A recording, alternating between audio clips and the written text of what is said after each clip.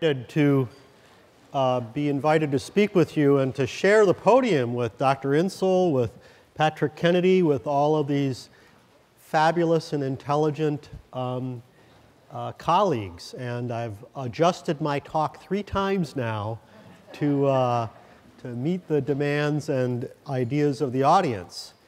Uh, I am not going to play any games. I'm going to talk about what your brain needs to eat so that you can play the games and uh, discuss uh, modern facts in the modern mind. This is my political and public health service agenda. I would like to see every person with a mental illness be referred to a dietitian.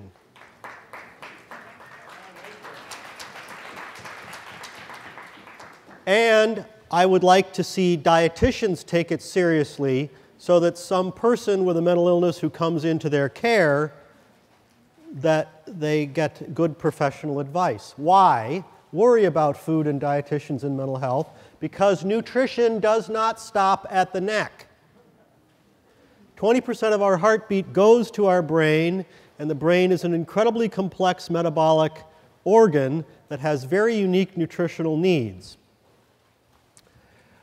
people with mental illnesses also need specific nutrition education fo focused to their needs. They need low income solutions. They need simple, clear advice.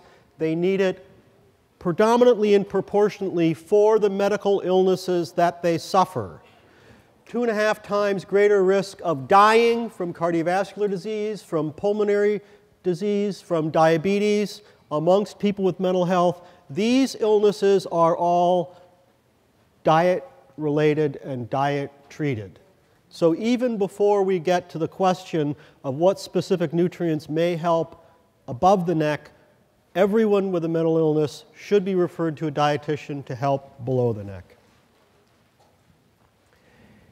Finally, in 2015, uh, the Lancet Psychiatry uh, recognized our statement from the newly emerging International Society on Nutritional Psychiatry that compelling and emerging evidence suggests that diet is as important to psychiatry as it is to cardiology, endocrinology, and gastroenterology. So understand that we are still a new science and we are still a new field and we're trying to, you know, release the shackles of orthomolecular psychiatry in the 1970s and, and get to better data. Why worry about the brain and nutrition? The traditional view of diet has, in the last century has been all about protein. This animal has a lot of protein and grows from birth to um, one ton in three years on this diet of grass. Now, humans evolved not eating grass, but evolved on seacoasts where seafood and omega 3s were abundant. And many evolutionary theorists state that the ability for human beings to have disproportionate encephalization and big brain is because we had lots of omega 3s available in our diet to supply the brain. That animal that only ate grass is only to develop, able to develop a brain the size of the fist. Why? Because the fatty acids in the brain are essential fatty acids. They can only come from the diet. You've seen a lot of beautiful pictures of data, and you may think that a brain is just data or, or electrons moving around. No, the fundamental reality, as, as we've discussed, right, is, is the brain thermodynamics no, what is the brain? The brain is fats, and the brain is oils, 60%. And, and it's got water and a few little neurotransmitters floating around in that mess. So, here in human development, for example, we see that uh, the, the hands are, are very different. The mom's hand has grown large, but at the same age of life, their brains are already about the same size because there is a, a fundamental priority for nutrition and human development in the development of the brain, and we require essential fatty acids to make the brain. Here's your biochemistry introduction for lunchtime. It's going to be fast. There's a saturated fatty acid with lots of carbons saturated with hydrogens. You can unsaturate them and get a mono or one unsaturation, or you can polyunsaturate them. And that's what a polyunsaturate looks like. So from this end of the fat molecule, one, two, three carbons from the end of the omega is, is the double bond that can only be put in these fatty acids by plants and only in leaves. Humans can't put them in there. And, and further down the chain, there's the omega 6 that uh, gets put in the fatty acid by seeds. And down here are, are the fruits. Humans can also put omega 9s in here. So olive oil and oleic acids are omega 9s, like that. So now you, now you understand fatty acid chemistry at its fundamental and basic. But it's really, it's really important. So these two fatty acids, this beautiful and elegant 22 carbon long fatty acid with six unsaturations, is concentrated in very important organs the brain, the retina, and the testes, and also ovaries, fertility. It's, it's rich in seafood and breast milk, um, so is EPA. They can be converted a little bit from precursors in flax and olive oil through the FADS enzymes. This enzyme is, however, currently absolutely overwhelmed because of the 20th century's reliance on seeds and, and seed oil, giving this omega 6 fatty acid, linoleic acid, that gets converted to the very famous and the very potent arachidonic acid, which is the precursor of an accelerator of all things inflammatory. So, and it's an essential fatty acid. So, so you can choose by what you eat as to what you become and what your inflammatory potential is, not only of your body, but of your brain. So here's a sort of my description of this as if you were eating a Mediterranean or a Japanese diet, you'd have lots of those blue omega 3 fatty acids stuffing into your membranes, creating the biophysical reality of a membrane and determining how these not only ions but also receptors are able to push against it and act. So in the US diet at the end of the 20th century, it's full of these red omega-6 fatty acids. So consider the ligand comes and hits the receptor, it opens the receptor up, it makes signal transduction happen, and it digests. It's promiscuous, and it just digests what's in front of it. You get lots of red omega-6 fatty acids put out because of what you eat. You, you create huge inflammatory cascades, and you try and put a finger in the dike like the Dutch boy, have a $10 billion or more industry in trying to stop arachidonic acid from, from flowing with, with NSAIDs and other drugs.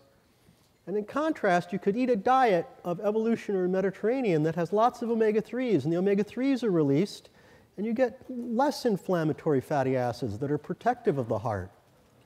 Now, not only are these eicosanoids produced, this omega 6 fatty acid is the precursor for marijuana like molecules.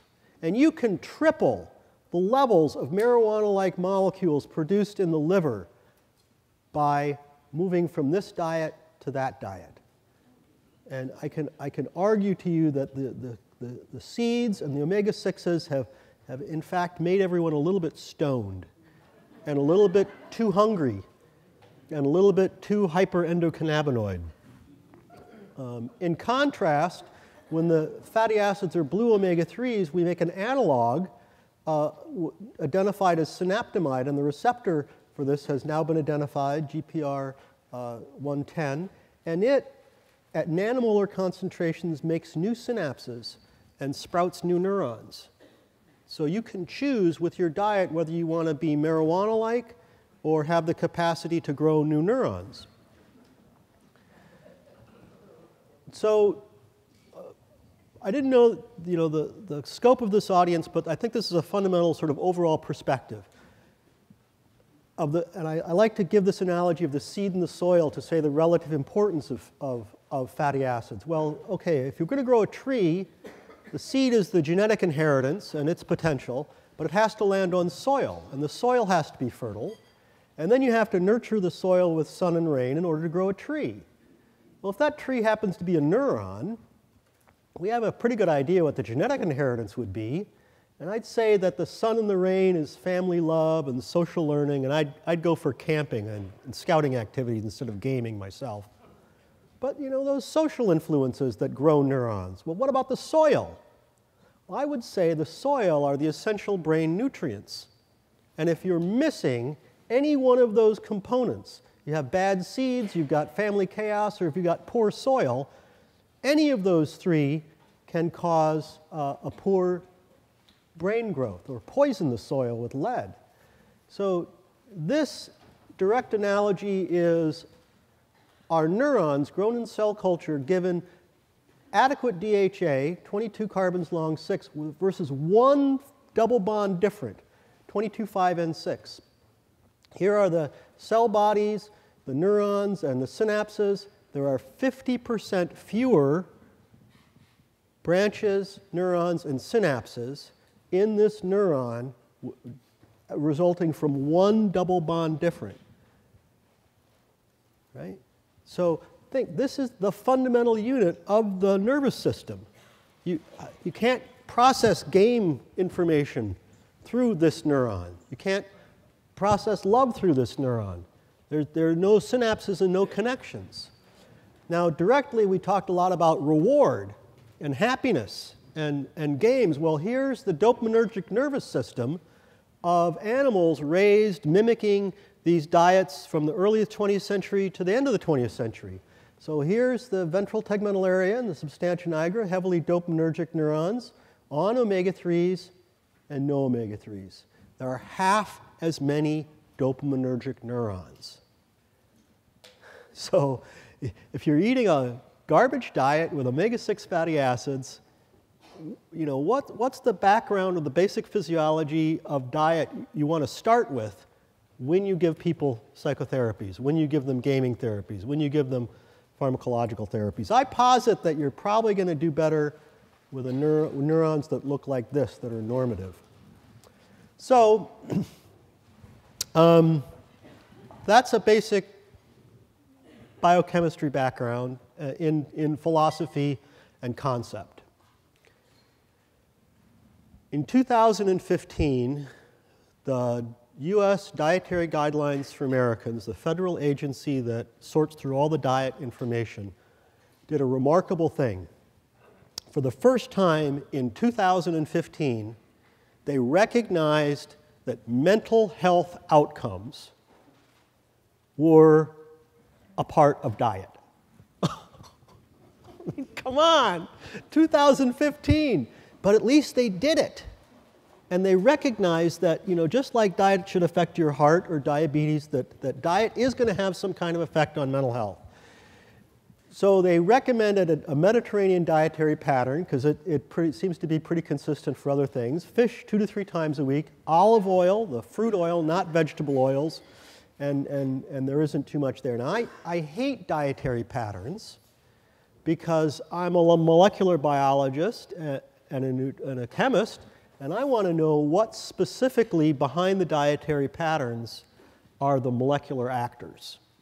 So they, when they made this recommendation, they literally only evaluated manuscripts and publications if it said dietary pattern. And just on that basis, they had a pretty good idea that Mediterranean dietary patterns would help. So I wanted to unpack the data, and it's a good review for the last 23 years I've been working in this field as to where we're at. Well, let's just go the first level down and ask about epidemiology of fish consumption. If dietary patterns, how about fish and olive oil? Are those the specific foods? Well, a meta-analysis of 26 trials, 150,000 subjects indicate that there's just an epidemiological association of greater fish consumption and a lower risk of depression at 0.83, good solid epidemiological levels. Let's go down another level. Let's look specifically at blood as a biomarker of fish intake and neurological health. Well, here's a meta-analysis of 14 studies with 3,318 participants indicating that higher blood levels of omega-3s are associated with lower risks of depression with an effect size of 0.85, which is massive for, for clinical effect sizes. Well, let's go down further. let's look at the, the established data of randomized placebo-controlled trials. Not one clinical trial, but a history of 20 years of randomized placebo-controlled trials. Now, there's been six meta-analyses published. Of course, ours is the best. So uh, we did this with John Davis, who um, originated the catecholamine hypothesis in the 1960s and originated meta-analyses in, in medicine. And we looked at 52 different study conditions with 11,038 um, subjects and found that participants who were given an EPA-rich diet and actually had symptoms of major depression, the effect size was 0.61, which is, is huge for uh, clinical treatments of depression. I'm going to talk to you a little bit in more in detail about multiple synergistic biological processes that are aided by the right omega-3s or impaired by a deficiency of omega-3s. So it's not one neuron, it's not one receptor, it's multiple biological processes in the brain that are simultaneously being affected. Um, there is very little data looking at specifically the role of lowering omega-6s in olive oil.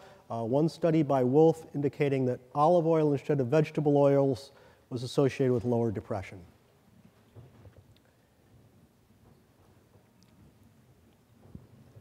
This is the reality of the world. These units are not in micromoles or nanomoles. These are in units of 200, uh, 320, 300,000 million metric tons. 322,000 million metric tons of soybean oil was consumed in the US in 1999. We looked at the consumption disappearance of 273 different foods every year from 1909 to 1999 in the US. Um, soybean oil was not consumed in the US in 1900, nor had it been for the evolution of the nervous system going back 500 million years into the sea. Um, now the soybean oil uh, creates about 20% of our calories in the whole food supply in the US, and about 8% of the calories that we consume are a, a, single molecular species, that linoleic acid that makes arachidonic acid that causes inflammation. I posit that this is the biggest change in the diet of Homo sapiens since the development of, our, of agriculture. And I have, I have no, if anyone wants to challenge me on that, we'll, we'll talk quantities. So, so we can, one of the things we've done in our lab is to use animal studies that then test these epidemiological conditions and, and actively test differences from 1% to 8%. And I, I hope to get to some of those data. So that is the background for me to let you know that these dietary changes can cause membrane changes that affect multiple levels of biological processes involved in both addiction and depression. So I, I, like to talk about pleiotropic nutrients instead of dirty drugs. Let's talk about pleiotropic nutrients that have multiple mechanisms of action. And here's some relevant to addiction and depression. My institute studies addiction we know that dopamine depletion is central to addiction and CRF excess and stress vulnerability is central to addiction. How would it be possible to design one drug that affects these two vastly complexly different biological systems? Of course, in addiction, it's worse because we've got contributing factors like suboptimal development of the frontal cortex, neuroinflammation, endocannabinoid hyperactivity, and pain.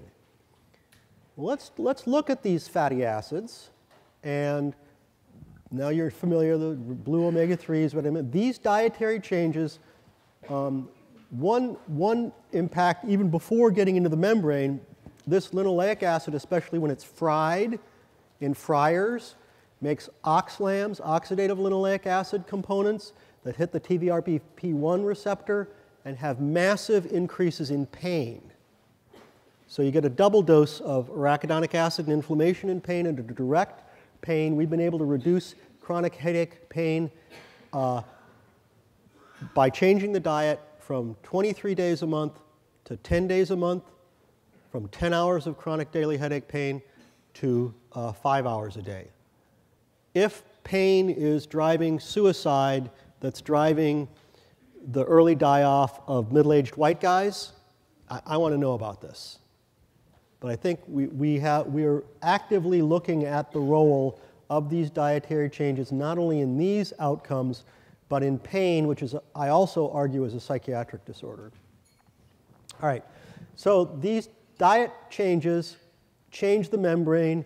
In evolution or in the Mediterranean diet, you get lots of omega 3s, blue in the membrane, in comparison to 20th century diets, lots of omega 6s. There's arachidonic acid. Here's another way to show it it's, it's a phospholipid on a triglyceride. When the membrane gets activated, the phospholipases are indiscriminate, and they take that arachidonic acid and make it into 2-arachidonyl glycerol, which is the body's own marijuana-like molecule and causes persistent hyperactivity of endocannabinoids. We've shown we can reverse it in humans and animals by reversing time.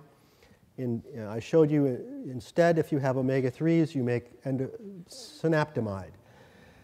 Another parallel system, which is disproportionately activated in the nervous system by this membrane change, is the neuroinflammatory cascade, which affects microglia and other neuroinflammatory uh, processes.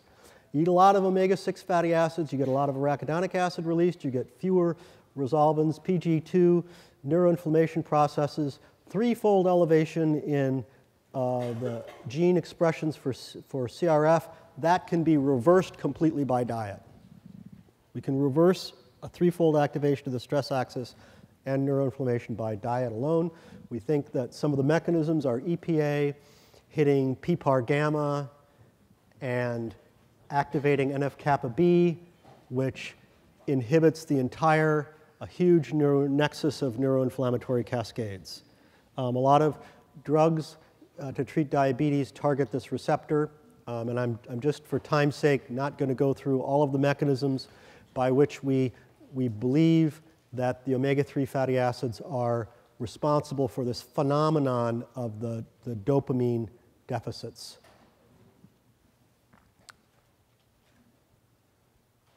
Okay, so does it work in humans? This is some of the early epidemiology which paints the picture, which laid ground to test the hypothesis. Uh, in countries with greater fish consumption, there was a 50 fold uh, lower risk of, of major depression across countries. We published this in 1998. We've gone through the field all the way to meta analyses of randomized controlled trials. This is the trial I described before 52 study arms, um, uh, low effect size, when we sort out those that were EPA rich compared to DHA rich, none of the DHA rich formulations, that is, you have EPA and DHA in the fish oil, which do you have more of? If you have more EPA, more than 50%, those trials worked. If it was more DHA, they didn't. Then when we, when we parsed out amongst those trials, did they actually put clinically depressed people in the depression trial, or did they study somebody else? When they actually studied people with clinical depression, the effect sizes are 0.6. This is um, going to be published soon in the uh, British Journal of Psychiatry. Other investigators have, have found this as well.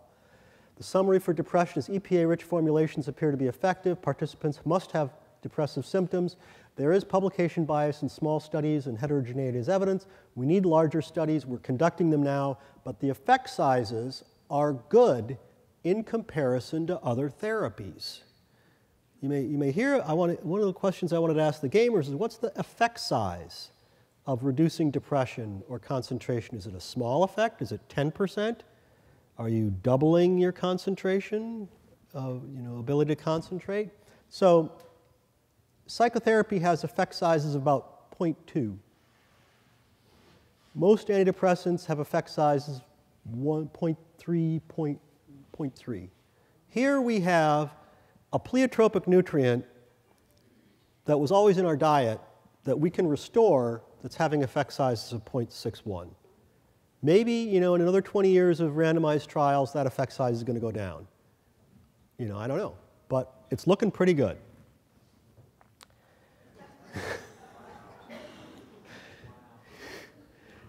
this is, you know, this is what kids eat.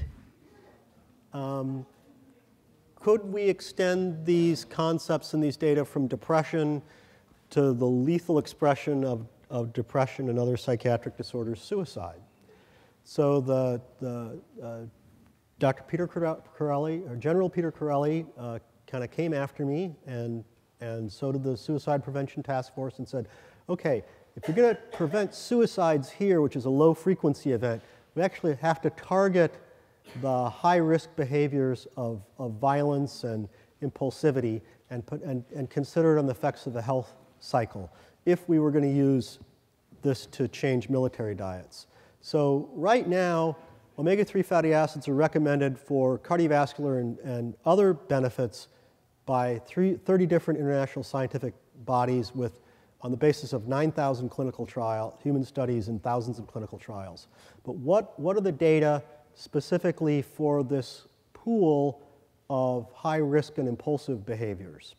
So I'm gonna, I'm gonna, I think it helps to summarize the field and where we're at right now in, in asking that question. I, I tried to encapsulate it in a little graph here. So here's the disorder, major depression, ADHD. Do we have plausible mechanisms? What's, how many epidemiological, ecological studies have been done? How many case control studies have been done? How many randomized trials have been done? How many meta-analyses have been done? And what's my assessment of, of the data at this point? I've given you this for major depression, all the way from mechanisms to epidemiology, six meta-analyses. I think personally, yes, there's a big clinical effect size. I'm, I'm very confident in this. I'm also very biased because I you know, started the field. But that's okay. The, I, the data are what the data are. In ADHD, we have plausible mechanisms. There's less epidemiology and case control. There's now 11 RCTs, two meta-analyses. They show that omega-3s are effective for ADHD, but not as good as medications. The effect sizes are about 0.3 instead of, instead of 0.6. It may be an important complement, uh, but, but all the trials, there's low heterogeneity. They all pretty much say the same thing. Aggression and violence is really difficult to study, but really important to study. Um, and we've only got about 10 randomized placebo-controlled trials. I'll show you some of this data if I have time, that there's a robust reduction in felony-level violence committed in prisons in good randomized placebo-controlled trials. Um, so uh, in consideration of the poor diets that many violent people are exposed to, we have an opportunity for public health here. I think we need more research, but we have an opportunity. Um, and um, there's only a few studies done in alcohol and substance use. I, I, I, won't show them here, but I will show you more about, um, about suicide. So we did the first RCT of subjects with uh, deliberate self-harm, and which is close to suicide in a Dublin emergency room, 49 subjects, 12 weeks, uh, EPA greater than DHA, 2 grams uh, supplied by the Norwegians. We found a 50% reduction in depression. It was actually a 45% reduction in suicidal thinking, increased reduction in stress, Im improvement in happiness. Um, we're, we're, now moving to try to neuroimage happiness and dopamine release.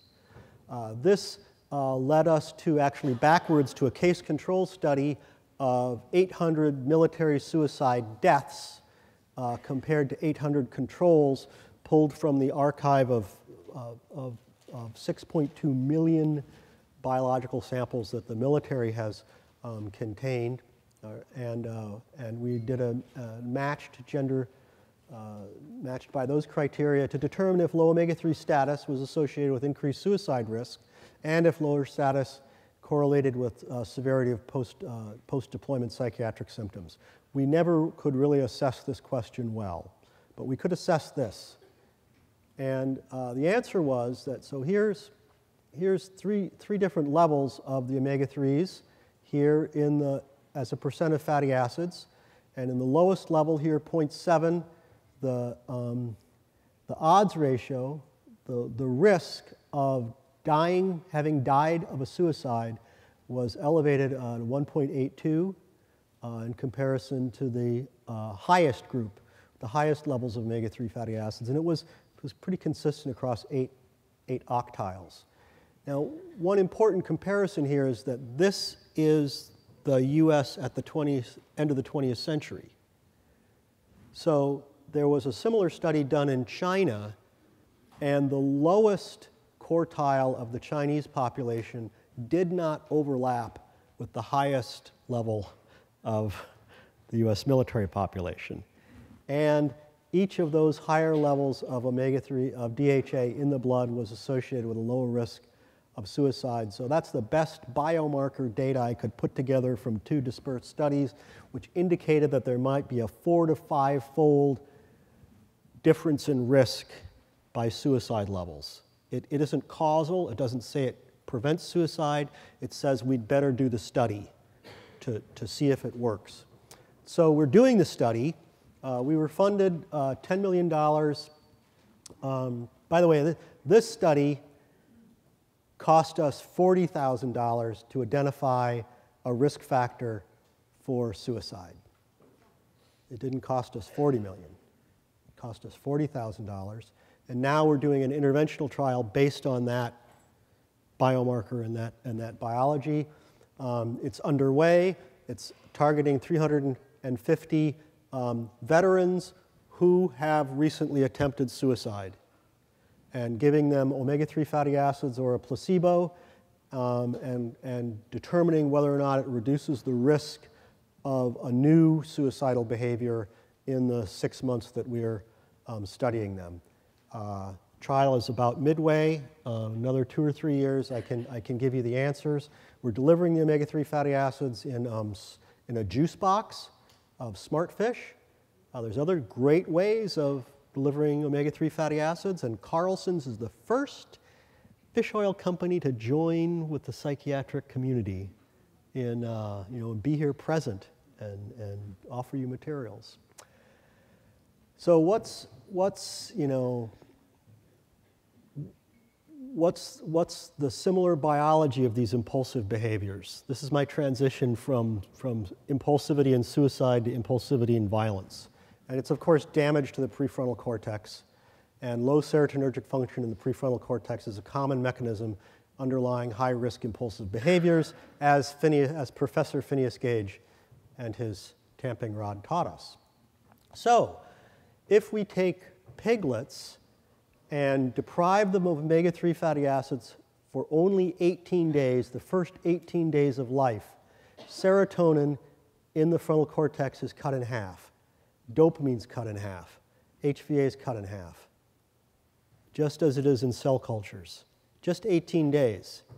So if this continues persistently throughout life, we might suggest that frontal cortexes are, uh, are, are insufficient in these neurotransmitters. We would then predict that giving the omega 3 fatty acids back would reduce impulsive behavior, reduce aggression, and, and other problems. So we did a randomized double-blind placebo-controlled trial with Adrian Raine. uh, uh, 95 in the omega-3 group, 89 in the placebo group, and this was a, a, a, community sample, just, just normal kids. They happen to be in Mauritius. Giving, uh, again, we happen to use in these studies the SmartFish. So uh, the fatty acids were given for six months, and then we followed them up for an additional 12 months. These are the children's ratings of their own aggression, proactive aggression here. Uh, that is, what are you initiating versus reactive aggression. If you're provoked, do you, do you uh, aggress? The effect sizes are about 0.5, 0.6 at six months and come back to baseline at 12 months.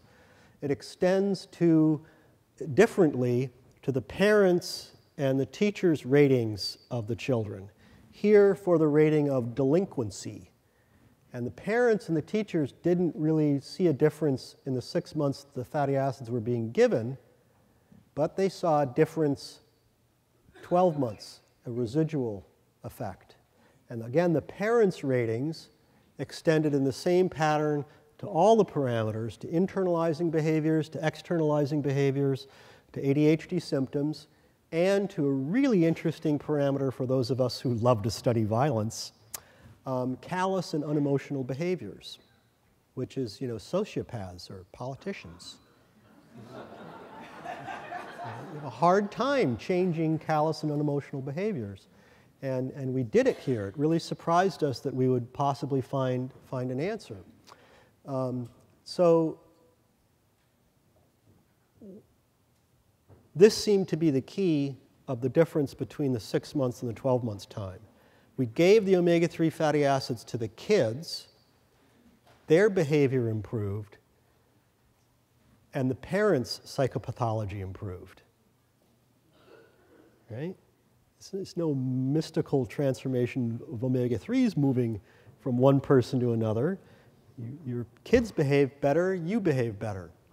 And, and we found remarkably this difference in parents' psychopathic inventory with large effect sizes. And I think that if I might be so bold as to, to, to dream, to say this is probably the first evidence of a spreading effect of quieting down the most disruptive individuals in a population and sort of letting the peacefulness extend. Uh, this was the study I alluded to on the reduction in felony level violent offenses in prisoners. It was done in 19, uh, 2002 by Bernard Gesch. Uh, uh, 318 offenses among 172 prisoners. Um, looked at violent offenses at baseline. And the outcome parameter here is interesting. It's a new conviction for felony level violent offenses committed in the prison a new conviction. Not, did I feel better? Or did, I, did you get convicted or not? So it has economic consequences. So 72 cents a day of omega 3 fatty acids reduced felony level violences by 37% in this, in this trial. You can feed a lot of prisoners for reducing one event, 37%. Now been replicated uh, twice in prison populations and um, of course, none of them have been done in the US, so it you know, really doesn't work, right? Because it's not done in US populations, it's all foreign populations. Um, so we can play around with the epidemiology to have a look, and so I've done that. You know, we'd predict that there would be lower homicide mortality in countries that consume fish compared to ones who don't. The association is about a 30 fold association of greater uh, homicide mortality. Um, and, I, and I do weird things. I'm an omnivore for data since I'm a psychiatrist, and, and this is being funded by Catholic Charities. So let's not ignore this data.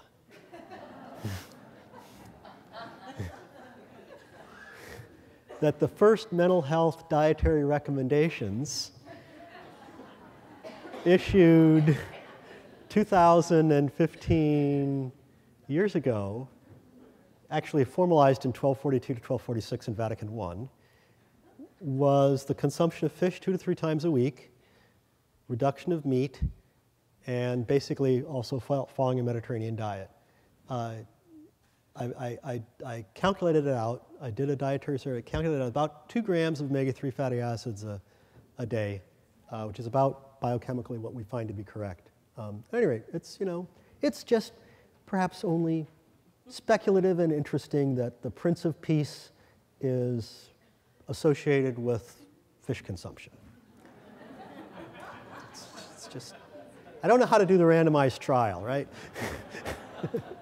anyway, so we're, we're back to this, and we're back to this competition bit, you know, with the omega 3s and omega 6s, and they're, and they're active. So here, 1963, also old stuff.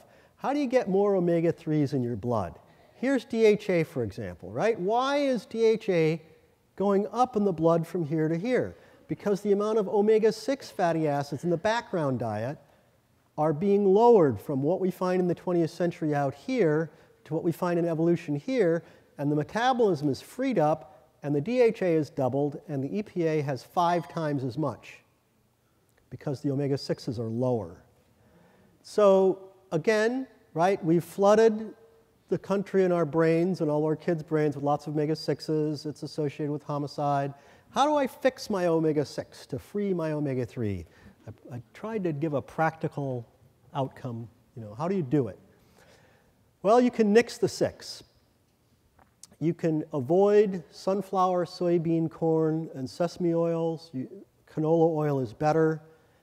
Eat everything with olive oil, and I don't have the data for coconut oil but it's just fine. It's low omega 6 fatty acid.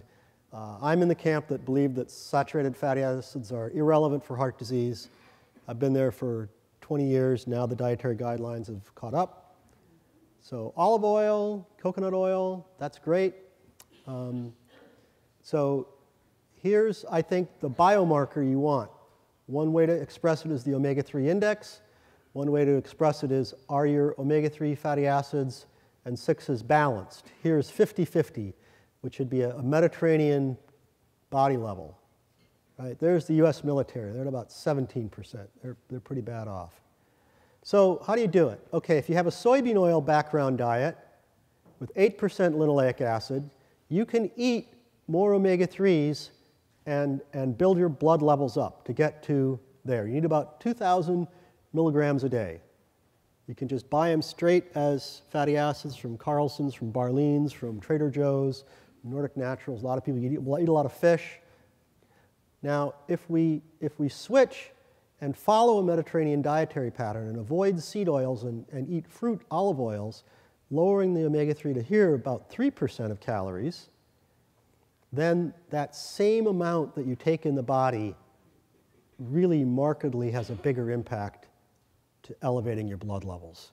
Here you'd only need about 1,000 milligrams a day. So half as many fish from the sea, nice sustainability connection there, by lowering the omega-6s, by going from soy to olive, which is following the Mediterranean dietary pattern. Uh, if you want to get capsules of omega-3, EPA, and DHA, if you have unconcentrated fish oils, you need about seven caps. If you have molecularly distilled fatty acids, they're concentrated, you need four caps. If you want to prescribe Lovaza uh, for triglycerides, hypertriglycerides, or use it as an off-label product, uh, you need about two capsules. Um, if you want to reduce your sixes, this is the quick fix. Uh, get rid of these 10 top most negative foods in Americans for Americans. Soybean oil, mayonnaise, tub margarine, microwave popcorn, fake Italian salad dressing. Italian salad dressing should have olive oil in it, not soybean. Potatoes, stick margarine, peanut butter. We're working on peanut butter.